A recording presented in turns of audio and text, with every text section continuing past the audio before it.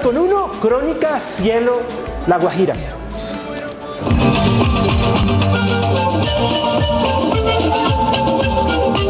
Uno de los lugares más exóticos pero a la vez más olvidados del país es La Guajira, donde la mayoría de su territorio sufre desde hace varios años de una terrible sequía, la cual es atribuida a diferentes factores que hacen que la falta de agua sea una de las mayores preocupaciones para los habitantes de esta región, entre los que se encuentran miles de niños.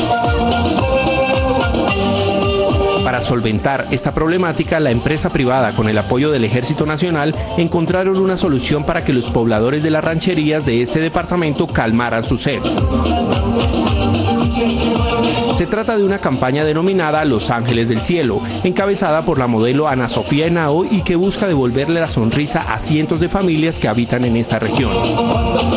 Las rancherías Cayetamana, Huerrutka y Jirrahuica fueron las primeras beneficiadas con la recuperación de pozos subterráneos para la extracción de agua natural.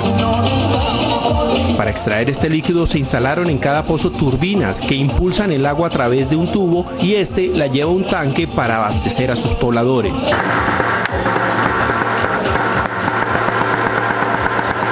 Esta solución fueron beneficiadas más de 500 familias entre los que están 280 niños, quienes son los más agradecidos por esta nueva oportunidad que les da la vida.